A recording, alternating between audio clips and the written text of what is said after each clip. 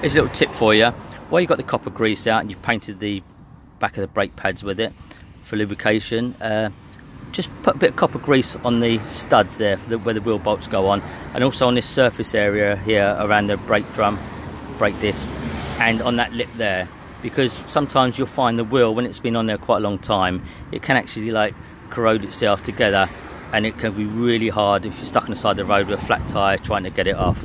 So a little bit of copper grease liberal coating all the way around on that lip and also on the studs. And you'll find in future maintenance or if you get a flat tire you won't have no problems trying to kick it off or get underneath the car and trying to beat it off on the side of the road. So don't forget the copper grease on there as well.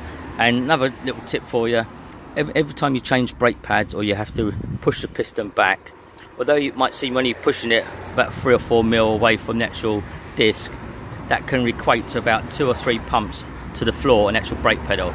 So whenever you change any brakes or touch the brakes always make sure you pump the brake pedal up to where it should be and you've got a stiff pedal.